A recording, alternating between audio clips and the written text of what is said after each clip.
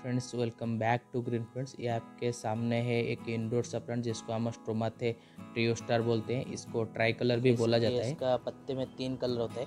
जैसे कि ये पत्ते को पीछे में आप देख सकते हैं, ये थोड़ा सा रेडिश कलर के जैसा है और फ्रंट में ये ग्रीन ग्रीन के साथ वाइट का पच्चीस है। ये वाइट तो नहीं है, हम पिंकिश वाइट बोल सकते हैं। और ये इस प्लांट के बारे में बोला जाए तो ये एक फुल्ली इंडोर प्लांट है। इंडोर मतलब बोला जाए तो डार्क में नहीं रहेगा मतलब कि जहाँ पे लाइट आएगा अच्छा खासा लाइट आएगा, वहाँ पे ये प्लांट ग्रो कर, किया जाता है और बहुत ही अच्छी तरीके से ये ग्रो होता है। और बहुत ही खूबसूरत सा लुक देता है, आप सब इमेजिन कर सकते हैं। वो डेकोरेशन पर्पज़ में यूज़ करेंगे तो बहुत ही अच्छा लगेगा। और उसके साथ साथ ये तो मेरा एक प्लास्टिक के गमले में है तो आप इसको एक सेरामिक का पॉट भी दे सकते हैं। और वाइट कलर का सेरामिक पॉट में ये बहुत ही अच्छा लगेगा। तो चलिए फ्रेंड्स, बात करते हैं इस प्लांट के बारे में। तो सबसे पहले तो आप इसको आउटडोर में ना रखें अगर ये आउटडोर में डायरेक्ट सन के कंटेक्ट में रहेगा तो इस तरह से आपका ये देख सकते हैं। ये जैसे कि इसका टीप वगैरह बर्न हो रहा है। इस तरह से इसका पत्ते वगैरह बर्न होंगे। तो उस प्लेस में ये अच्छे से ग्रो कर पाएगा और उसके साथ साथ ये बहुत ही आसान, शानदार तरीके से और बहुत ज़्यादा ग्रोथ देता है। और उस टाइम में इसके नीचे से थोड़ा थोड़ा इसका पॉप्स वगैरह भी निकलते हैं तो बहुत जल्द इसको आप सेपरेट करके नया प्लांट भी बना सकते हैं और ये घना भी बन जाएगा, बहुत ही जल्द ये आपका छः महीने के अंदर अंदर में इसको आप बहुत ज़्यादा घना भी बना सकते हैं। तो अगर आप इसका वाटरिंग और ये, और इसका फर्टिलाइज़र ऊपर के ध्यान नहीं देंगे और अच्छी प्लेस में प्लेस नहीं करेंगे तो इस तरह से आपका प्लांट का पत्ते वगैरह भी सूख जाएँगे। ये देखिए, जैसे कि ये पूरी तरह से बर्न हो रहा है। ये देखिए। और ये एक इंडोर प्लांट है तो इंडोर के लिए अगर आप ढूंढ रहे हैं तो ये बहुत ही अच्छा प्लांट है, क्योंकि इतने तीन, चार, तीन कलर है इसका पत्ते में। तो एक कलरफुल लुक्स भी देगा। तो चलिए इसका मिट्टी के बारे में बात करते हैं। तो मिट्टी तो इंडोर का प्लांट है और उसके साथ साथ गमले में लगाओगे तो आपको वेल्डन सेल देना ही देना है। और उसके साथ साथ इसका मिट्टी को थोड़ा सा नाइट्रोजन रिच बनाना चाहिए।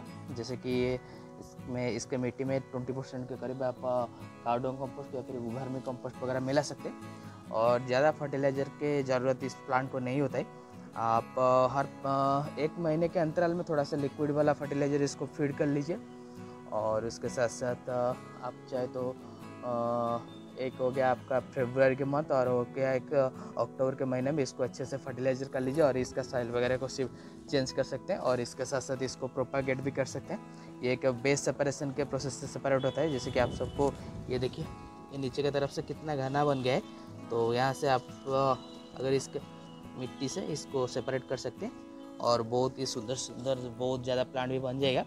और ये भी थोड़ा सा मेरे को लग रहा है कि थोड़ा सा रूट बाउंड हो गया है तो मैं भी इसको थोड़ा सा रिपोर्टिंग करूँगा, लेकिन अभी तो बहुत ज़्यादा गर्मी पड़ रहा है, आप सबको पता है तो इसीलिए मैं थोड़ा सा अभी के लिए अवॉइड कर रहा हूँ। हो सके तो मैं मानसून के टाइम में इसको रिपोर्टिंग कर लूँगा। और फर्टिलाइज़र की ज़्यादा ज़रूरत नहीं है, बस थोड़ा सा अगर हो सके तो आप इसके ऊपर थोड़ा सा पानी वगैरह का स्प्रे कर लीजिए। तो पानी वगैरह स्प्रे करने से ये प्लांट भी बहुत अच्छी तरीके से ग्रो करेगा।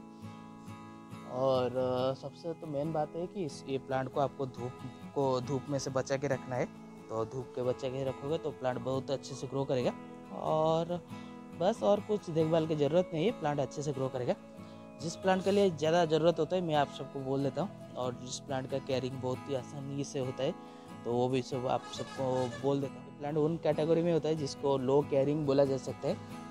तो लो केयरिंग के कैटेगरी के और उसके साथ साथ एक इंडोर का प्लांट है। और इंडोर का प्लांट तो आप सबको पता है, बहुत ही आसान तरीके से नहीं मिलता। है तो आप ये प्लांट को परचेस कर सकते हैं और एक सुंदर सा लुक ले सकते हैं, एक डेकोरेटिव सा लुक तो तो बस फ्रेंड्स एक छोटा सा वीडियो था। छोटा सा वीडियो में बस इतना ही। अगर आपको वीडियो थोड़ा सा भी इन्फॉर्मेटिव लगे तो वीडियो को ज़रूर से लाइक करिए।